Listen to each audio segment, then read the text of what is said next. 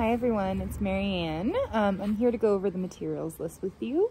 Um, so I went to the Chaffey student store and I picked up my 2D art kit um, the other day. There's also the 2D rental kit um, that's an option too, but um, it's not required, but the 2D art kit is. So when you head in there, you're gonna see a really big plastic bag that's gonna have all your materials in it. Um, so I'm gonna go through what's in that bag. So here's my list of materials, um, and we're just gonna go through step by step everything that's in there. So first thing on the list is this um, washi tape. Um, it's a fun, like it has like a really cool pattern on it. They're gonna be all different, I think. Um, and it'll just be like a fun paper tape that's gonna be great for in this class. Um, the second thing on our list is gonna be this glue stick right here.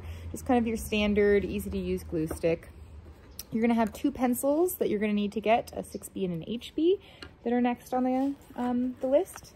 Then we're gonna have this tracing paper um, that we're gonna use throughout class. The next thing on the list is your large Bristol paper. Um, this is size um, 14 inches by 17 inches.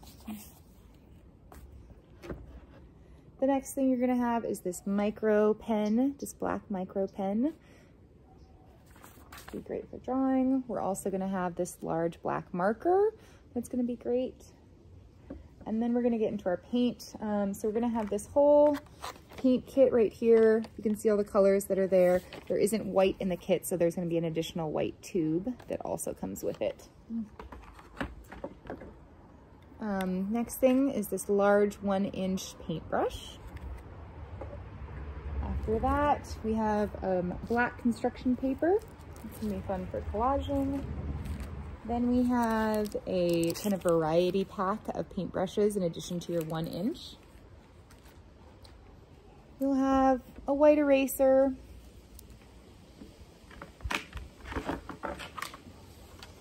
and then a palette. That'll be your last thing. Um, so these are all the things that come in the kit. Um, I it's mandatory that you do get it. Maybe you've taken other classes and you just want to subsidize, that's fine too, but you need to have all of these materials by next week of class.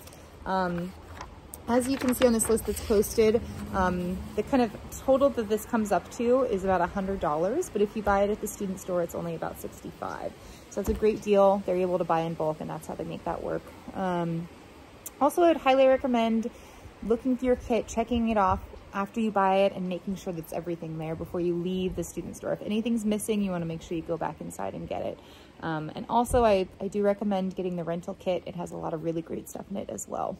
Um, yeah, so that's it. Mm -hmm.